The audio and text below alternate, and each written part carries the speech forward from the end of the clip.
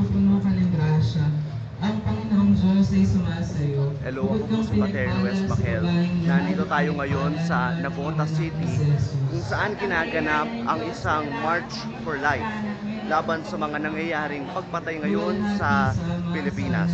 Daan-daang tao yung mga sumama dito sa March for Life.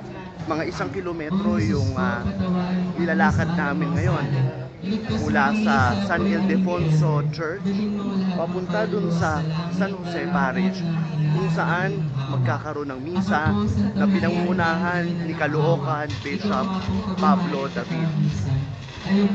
So dito sa uh, Napotas, ito'y bahagi ng Diocese of Caloocan kung saan marami na yung mga napapatay sa mga extrajudicial killings pati na rin doon sa mga anti-drug operations ng Philippine National Police. At saka kung matapos rin pagpanaw sa So ito nagdarasal sila ng Santo Rosario Santa Maria ay.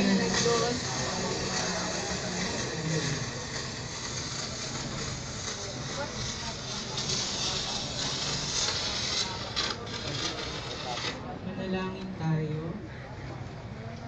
Babalik kami para sa mas maraming updates tungkol dito sa March for Life sa Nabota City.